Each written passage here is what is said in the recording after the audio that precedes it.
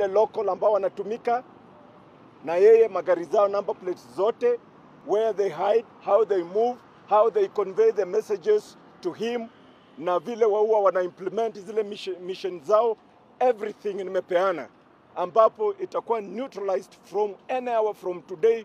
Mtasikia watu wanaokotwa one by one ambao wakikuwa wamefanya vitendo ya kumaliza witnesses, ya kumaliza nini, ya kufanya hiyo mjama, na wale mercenaries ambao wako huko, ni vizuri nimepeana majina ambao wako ready hata wenyewe kuongea, so kila kitu nimepeana, ambapo sasa tunangojea DCI afanye investigation yake na Wakenya wajue na maisha ya rais wetu ikuwe salama.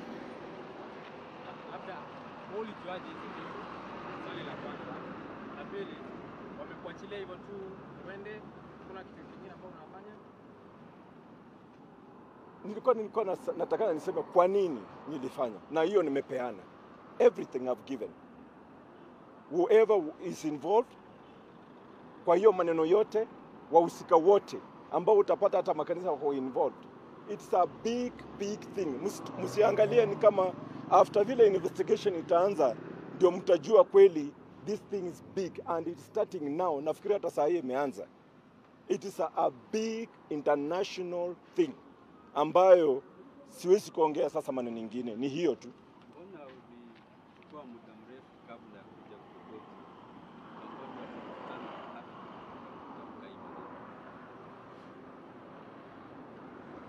Hiyo mtasikia. Ni nini, ikuwe muda mrefu, ikuwe muda mfupi, ukweli utajulika. Who are involved, who are they, what were their plans. Ujue mimi kile nataka sasa iko kwa, kwa mkono ya mwananchi. Na kuna iko kwa investigators. Wanaangalia, so waangalie na wapatie Wakenya nini inafanyika, wahusika wote washikwe. They must be arrested. Hakuna mtu ambaye iko na immunity dunia hii, hata kama yuko kwa shimo atolewe. So security yangu nimemwambia, na all the witness, witness wote hapa locally na internationally they are ready to come and testify, they are ready to come and give all everything they have kwa DCI. How many are the witnesses and mercenaries? You'll see them, mtaona. I can't, I can't say. Hujatuambia wamekuachilia uende tu hivyo. No case. I, I, I, I, I, case what I think I was, nimekuambia ukiangalia vile iko and that's what I've given them. Whatever information iko nayo nimepeana. Kila kitu ndugu yangu. Just wait and see. Okay, Ngoje- Ngojeni, ngoja muone. Nimepatia DCI kazi yake afanye. Tumpatie nafasi afanye. okay, so. Why? I've given them all all the report. Nimepatia DCI report yote. Yes? What Yes, uh, yeah, my name is Kariuki. Uh, Victor. Uh, my name is uh, Kariuki Victor. Thomas. Victor, oh. Sasa mnanisikia vizuri. okay, naitwa Victor Kariuki. Huh? Uh, Victor Kariuki. Uh, today I accompanied uh, Honorable Ivondo. He had been summoned to appear before the DCI this afternoon to respond to uh, some allegations that came about what he spoke on uh, Saturday. Uh, he has been able to record his statement. He has provided uh, all the information that uh, was required of him. And for now, we are waiting for the DCI to take uh, any necessary action.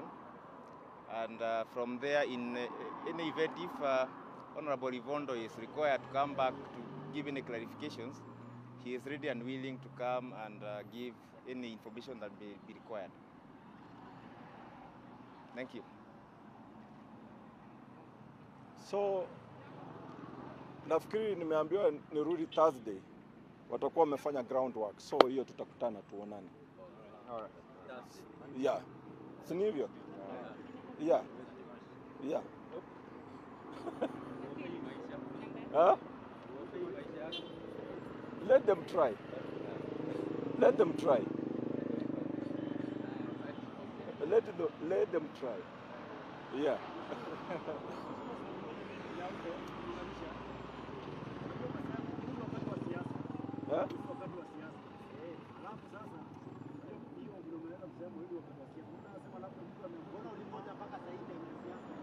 Mimi sisimami. Mnanisikia vizuri? Yeah. So mimi ni Mkenya na ni haki yangu kusema na kupeana ripoti kulingana na vile rais yangu, maisha ya rais yangu, usalama wake ni, ni juu yangu. Ndio sababu wimbo wa taifa huko, tukwe wazalendo. That's all. Thank you. Yeah, lakini wahusika wote wataitwa, wote wataitwa. Nimesema waitwe na witness wote wapewe security. Thursday tukutane. Asante. Asante, mheshimiwa.